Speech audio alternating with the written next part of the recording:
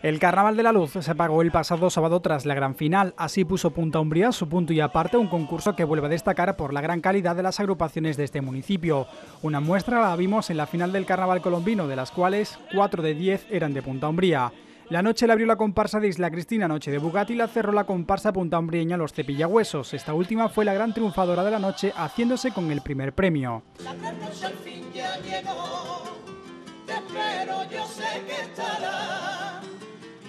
a pedir un favor, me después de cantar. El segundo recayó al igual que el tercero también en Punta Umbría, fue para el Manual de la Vida y Calla Alegría respectivamente. Como aquí en España recurro para trabajar, estoy aprendiendo sin idiomas para migrar, el inglés, noruego, chino, chino, chino, chino, el ruso y el alemán, ruso y alemán. En modalidad de murga la triunfadora fue para nosotros el primero. Cuando le dije a mi mamá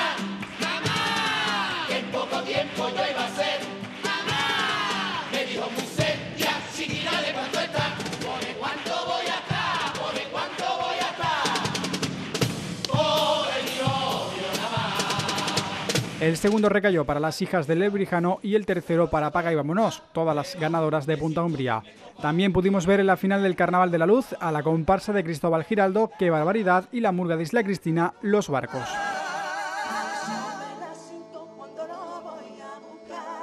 Después de jugar llega la hora de cenar, miro en